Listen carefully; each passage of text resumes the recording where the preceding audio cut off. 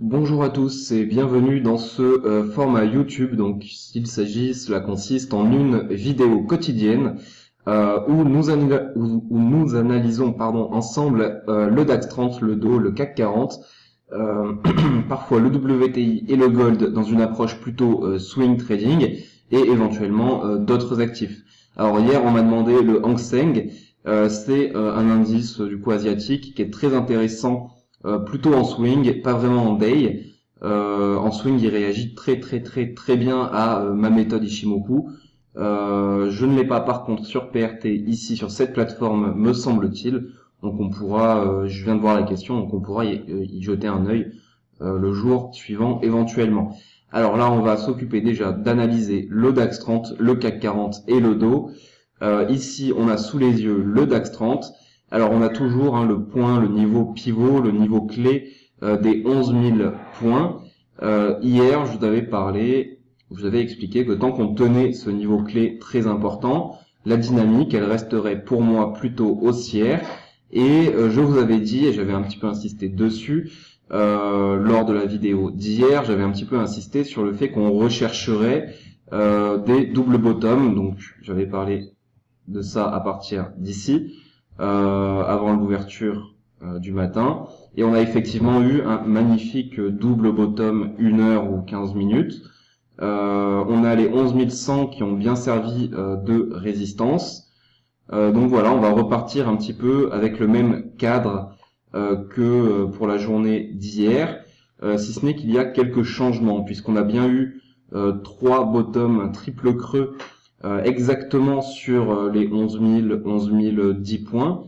Euh, donc cette zone-là, voilà, elle, est, elle a été assez intéressante la veille.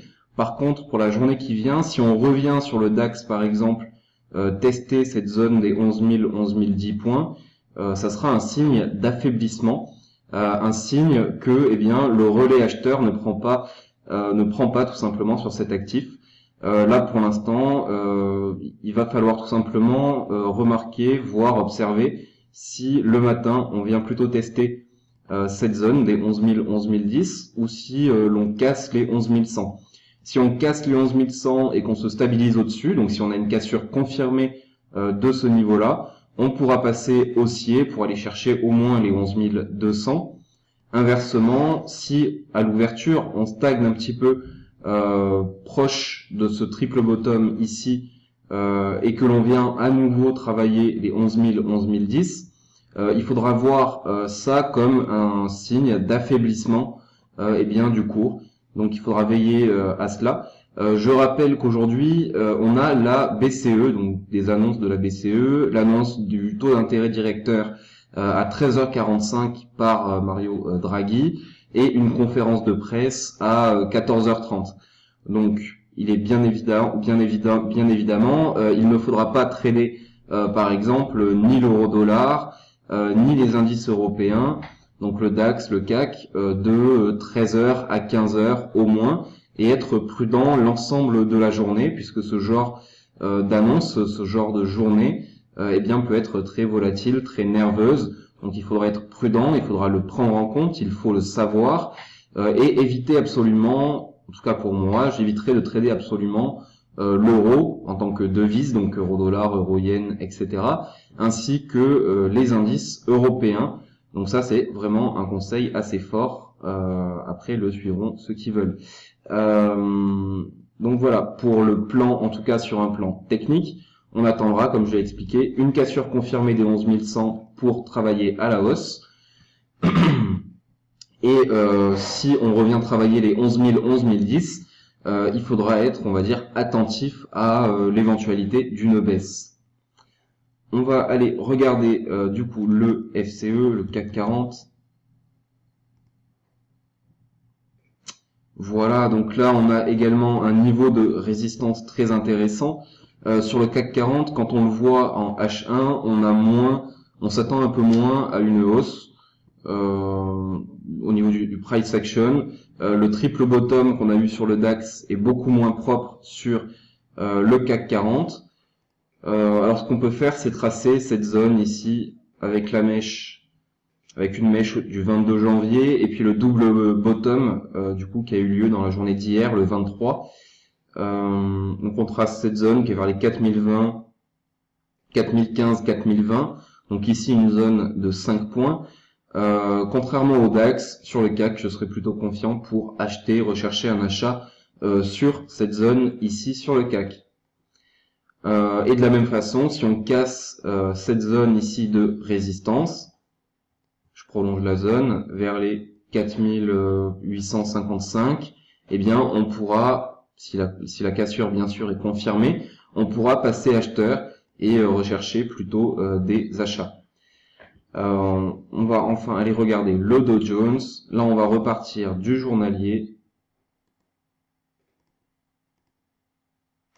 Voilà, on repart du journalier. Et ce que l'on remarque, c'est que le niveau dont je vous avais parlé, des 24 260, euh, des 24 280 points, euh, a très bien fait office eh bien, de support et de finalement point pivot.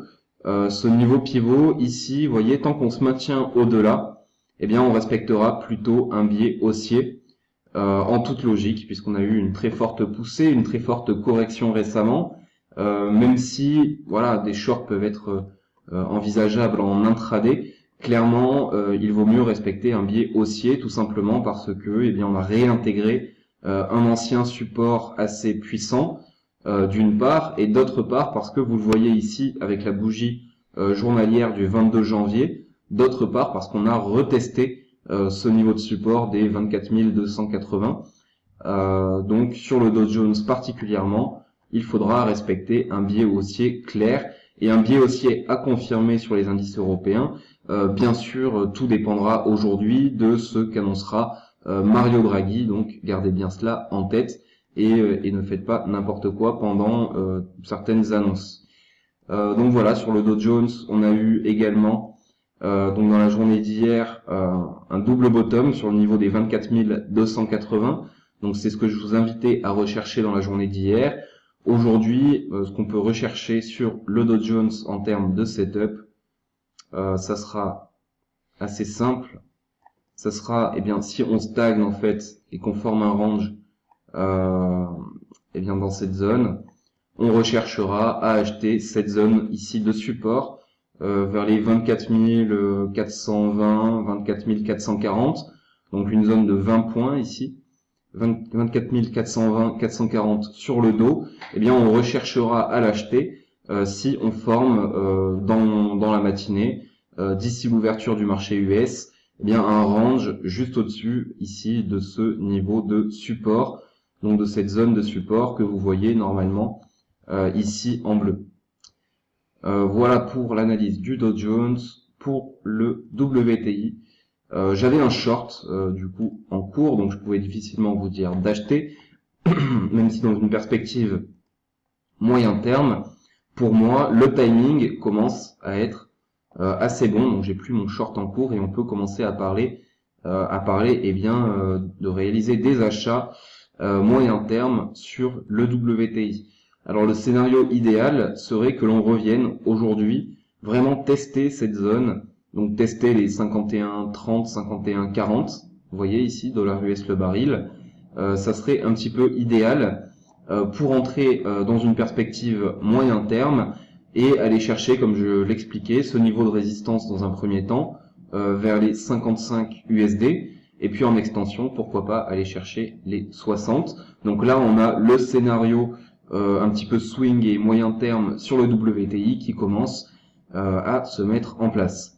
Voilà, je vous souhaite une très bonne journée, de très bons trades. N'oubliez pas, pas de suractivité un jour euh, d'annonce de la BCE, un jour de conférence de presse de la BCE. il faut savoir qu'une très très forte volatilité peut être eh bien provoquée par ce type euh, d'annonce et de news. Euh, donc de 13h à 15h, en tous les cas, je vous recommande euh, de vous éloigner de vos graphiques ou en tout cas de ne plus passer d'ordre et de simplement être en mode spectateur. Voilà, très bon trade à tous, je vous dis à demain, ciao